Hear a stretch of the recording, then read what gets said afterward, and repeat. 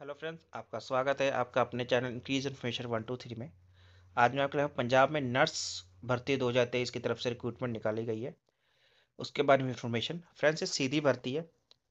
इसमें वक्त वक्त पोस्ट है, ये भर ऑनलाइन नोटिफिकेशन आउट हुआ है। जिसमें योग्यता की बात करें तो दसवीं, बारहवीं डिग्री कैन अप्लाई ना ही कोई पेपर ना ही कोई फ़ीस इसके बारे में डिटेल में बात करेंगे कौन कौन अप्लाई कर सकता है और एज लिमिट क्या है।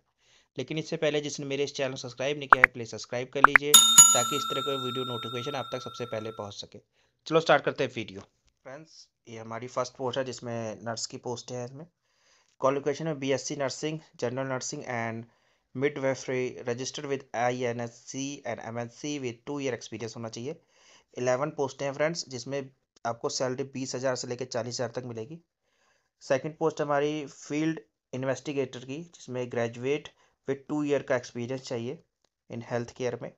टू पोस्ट है फ्रेंड जिसमें आपको सैलरी मिलेगी सतारह हज़ार से लेकर पैंतीस हज़ार। हमारी थर्ड पोस्ट है हेल्पर की, जिसमें प्लस टू पास टू पोस्टें हैं, जिसमें सैलरी आपको दस हज़ार से लेकर बीस हज़ार मिलेगी। फोर्थ पोस्ट है हमारी ड्राइवर की। Tenth with valid driving licence होना चाहिए वन ईयर वन ईयर का एक्सपीरियंस होना चाहिए हैवी तो लो लो मोटर व्हीकल्स में। एंड वन पोस्ट है फ्रेंड जिसमें आपको सैलरी बीस हज़ार से लेकर तीस हज़ार तक मिलेगी।